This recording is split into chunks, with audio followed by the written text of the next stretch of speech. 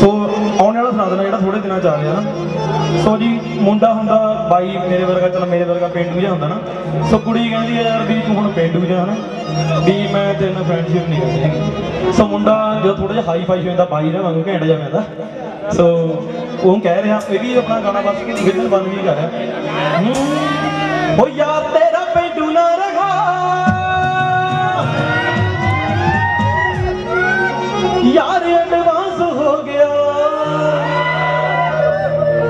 ਹੋ ਜਿਨ੍ਹਾਂ ਕੁੜੀਆਂ ਕੀਤੀ ਸੀ ਕਦੇ ਨਾ, ਉਹ ਅੱਜ ਸਾਰੀਆਂ ਜਗਾਜ਼ ਹੋ ਗਿਆ। ਉਹ ਪਤਾ ਕੀ ਕਹਿੰਦੀ ਹੈ? ਹੋ ਟੁੱਟੇ ਜਿਹੇ ਮੂੰਹ ਨਾਲ ਕੇ ਘਾਸ